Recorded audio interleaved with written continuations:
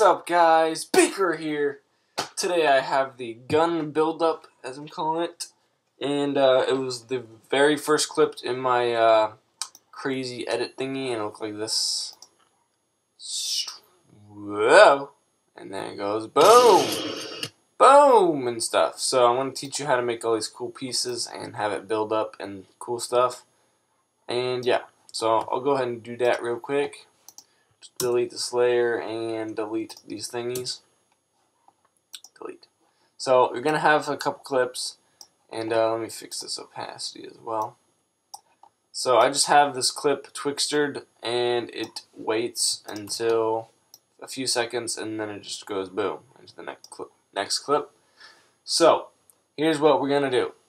We need to find uh, a spot that we want the main um, picture to come from.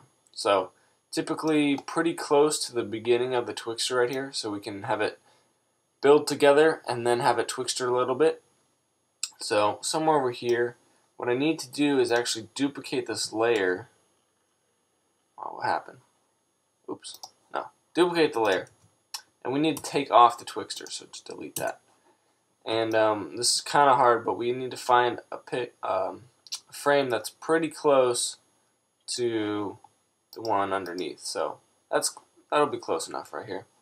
So what we do is right click, time, and freeze the frame. So we need this frozen picture here. So we'll go ahead and pre-compose this. Pre-compose. We're going to move all the attributes and we're going to call this the gun buildup. Okay? And then we'll double click, go into that comp. We'll go ahead and slide this over and extend it out. So it's just one long picture. Okay? Now we need to mask out the gun or whatever we want to build up. So we could just, you know, do this guy or something. But uh, I'm going to do the gun. So we're going to get our pen tool and just start drawing around the gun. And um, I'm going to go through this pretty fast if you haven't noticed. But go ahead and zoom in and take your time on it, make it look real nice. But um, just to get the gist of it, just, you know, mask it out. And blah, blah, blah. What are you talking about? Alright, so we close it off so we only get the gun. So that's good. And now we take this layer, pre-compose it again. Moving all the attributes, and we call this the gun masked. Okay? So if you want, you can double click on it, and it's just exactly what we had. But in the gun buildup, this is where we're going to have our effect. So go ahead and search up Shatter should be in your simulation tab thingy. Alright, and we get these cool bricks, and a lot of people have trouble with this because you get an outline. You gotta change the view from wireframe to rendered. That's it. So, um, yeah. So we get some cool falling bricks, and that is awesome. We're done. Just kidding. We are gonna change the shape, so, um, there's a couple cool shapes. I like to use uh, glass Got some cool triangles and pieces and stuff. One thing is it's shattering from the center and it's pushing it away down there.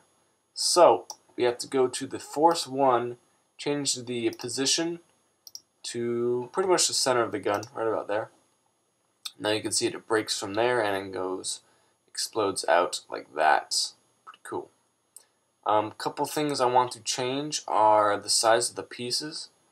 Right now we got some big pieces, so that's good. I'm gonna later on duplicate this to make tiny pieces to make like to make it look more random. But um, another thing I want to do is because this is to be reversed. Um, if I play it backwards, it's coming from below, which kind of looks cool, but I don't like it.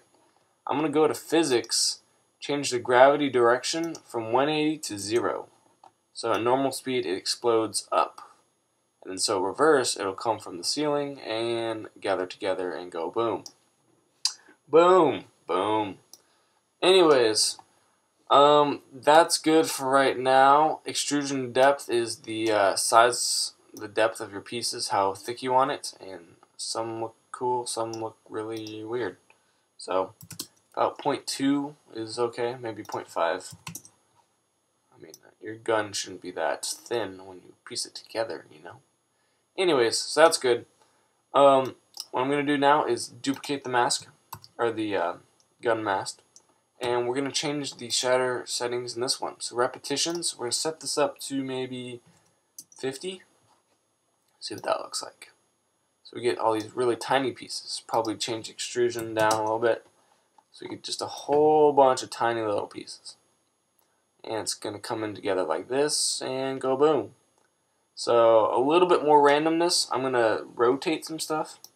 So in the beginning here, we'll go to the thick ones and we'll go to camera position and we can mess with the Y rotation. That's cool.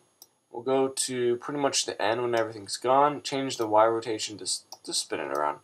You can kind of see what that does. It's very subtle, but it spins the pieces around maybe maybe bigger than 80 degrees, 180, 200.